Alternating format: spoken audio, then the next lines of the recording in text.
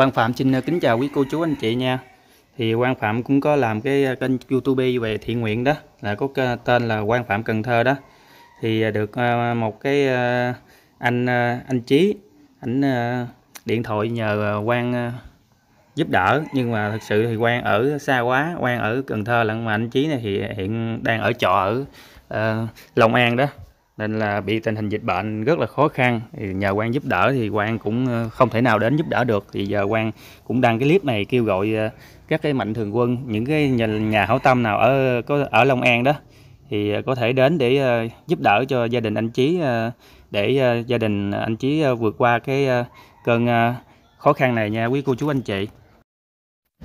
Do cái tình hình dịch bệnh thì Ờ, rất là khó khăn nên là anh ờ, Chí không có đi làm được nên là không có khả năng để mà có tiền chi tiêu cho cuộc sống gia đình đó, quý cô chú anh chị.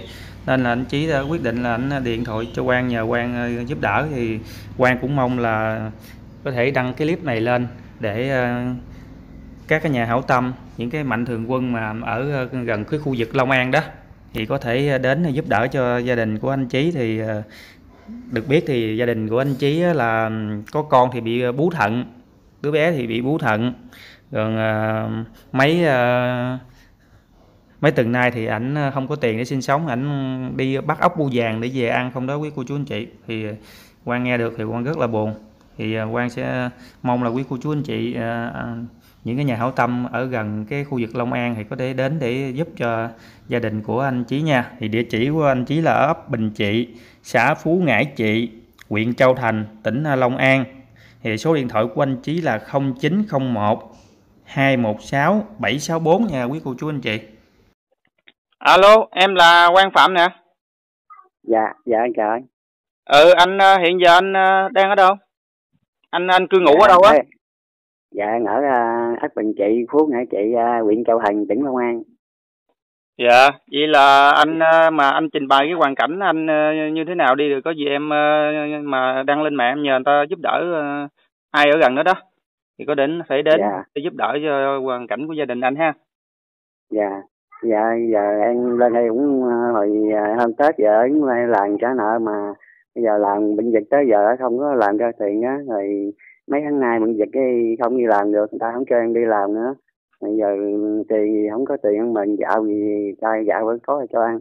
Mà gạo lúc em làm cho với à, công an không có cho.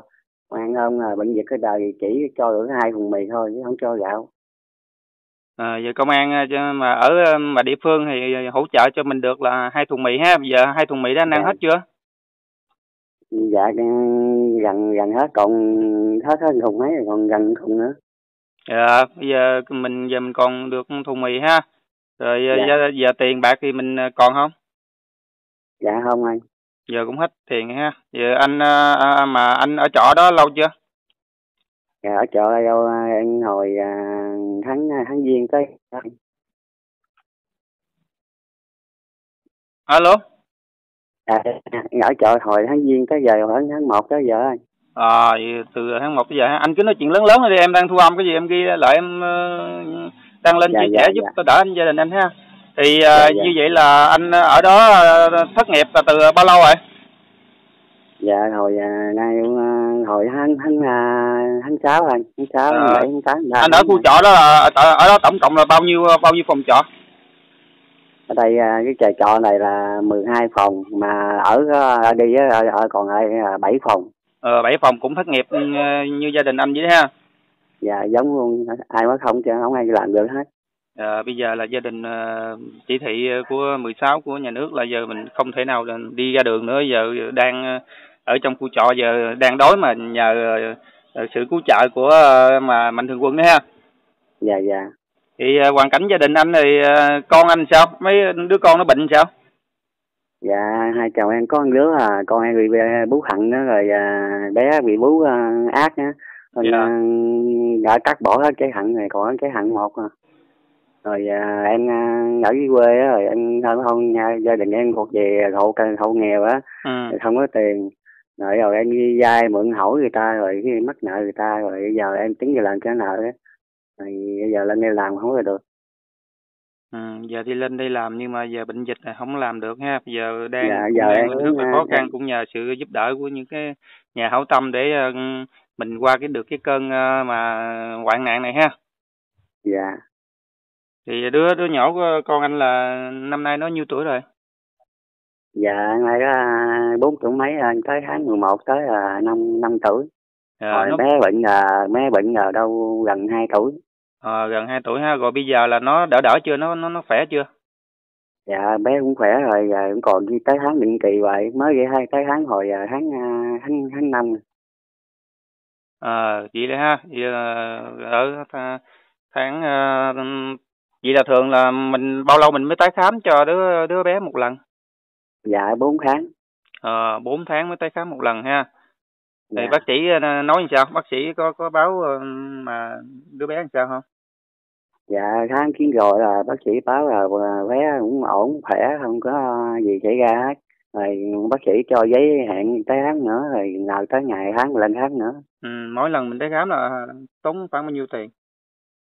Dạ tháng thì không có tốn tiền, chỉ là tốn tiền đi xe ăn uống này kia rồi không tốn tiền à, tháng.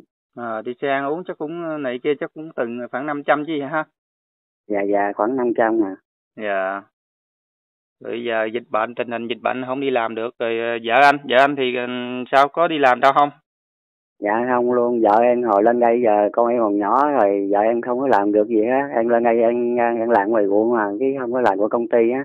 Rồi em làm công ty không được á, rồi em làm ngoài ruộng mà. Rồi vợ anh em thì nhà- anh ờ, mà làm gì ngoài ruộng? À, đi à, đào đất đất ụ thanh long cho người ta á rồi đi à, xịt thuốc rồi đi à, bẻ nụ tủ gom rồi đó Ờ, cũng như mình làm ờ, thời vụ thôi ha, làm nông nghiệp cho giúp đỡ ở, ở đó công việc đó ổn không? dạ hôm trước thì lúc chưa bệnh cũng ổn Ờ, lúc lúc chưa à, dịch bệnh đó này ổn không? Dịch việc mình ờ, làm hàng ngày có có làm ờ, thường xuyên không? Dạ cũng ít lắm nha làm à, làm ba ngày bốn ngày là nghỉ cũng hai ba ngày làm ba ngày bốn ngày nghỉ hai ba ngày á đào làm ví dụ ra kia mà làm một miếng giường á làm ba ngày bốn ngày xong rồi nghỉ cái tới chỗ khác ra kia nữa là làm không kêu nghỉ Rồi rồi rồi. Ha, vậy ờ, rồi, rồi em sẽ ờ, nhờ ừ, đăng lên mạng đó, nhờ sự giúp đỡ của những ai mà ở vòng vòng cái khu vực đó đó. Thì anh đọc lại cái cái địa chỉ đi để có gì em em ờ, mà đăng lên em nhờ mạnh thường quân ở gần đó người ta lại đến người ta giúp đỡ cho gia đình mình. dạ cái chợ ở đây là cái chợ này à, ra sang tên người khác chủ khác hai ba tên rồi cái tên đầu Không tiên nhưng mà là- em ờ, ở trọ khu trọ đó là chỗ nào là được rồi, nói nói ở ờ, địa chỉ ở đó đó. dạ dạ địa chỉ là ấp Bình Trị à, xã Phú Ngãi Trị à, huyện Châu Thành tỉnh Long An À, huyện Châu Thành tỉnh Long An ha. Rồi ờ, dịch bệnh tình hình dịch bệnh này như vậy là người ta có giảm tiền trọ cho mình không? dạ mấy tháng trước không có giảm mà tháng tháng tháng à, tháng đang ở là ta giảm cho em là nửa tháng À, ta giảm được ờ, nửa tháng ha. dạ Dạ tôi cũng đỡ đỡ rồi. Vậy thôi anh ờ, cố gắng nha. Cố gắng Dạ. mà ở nhà đi chống dịch qua mùa dịch thì mình cố gắng làm lại để coi em đăng lên coi coi những ai mà có nhà hảo tâm nào gần gần đó đó. Người ta có Dạ. làm từ thiện giúp đỡ gì đó, người ta có thể liên hệ với anh để người ta giúp đỡ mình ờ, rau củ hay cái ờ, gạo gì đó để sinh sống qua cái mùa dịch này ha. dạ Rồi anh đọc số điện thoại luôn đi, số điện thoại của anh đó. dạ không chín không một hai một sáu bảy sáu bốn À, anh tên gì? dạ em tên Trí À, anh tên Chí ha, cái gì Chí?